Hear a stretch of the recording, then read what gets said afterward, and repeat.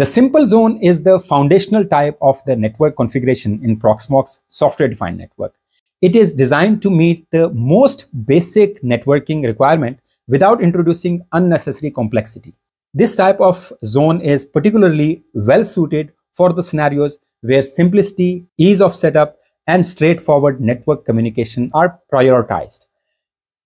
So if you talk about the use case scenarios, small environments perfect for the small offices, labs, or test environments where advanced network segmentation or multi-tenancy is not required. If your network operates within a single subnet and there is no need to isolate or partition the traffic between different groups, the simple zone is ideal choice.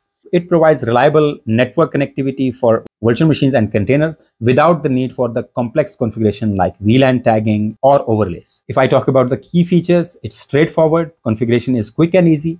So if you are new to Proxmox, I suggest you go for it. If you are using single node, this is perfect for you. The simple zone avoids the added complexity of advanced networking features, results in the lower resource usage.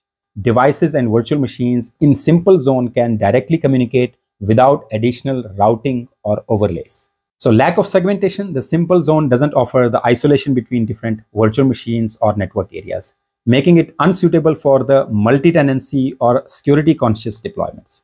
When we talk about the scalability, while it works well for the small setups, it may not scale effectively in the environments with many devices or nodes. So when to choose the simple zone?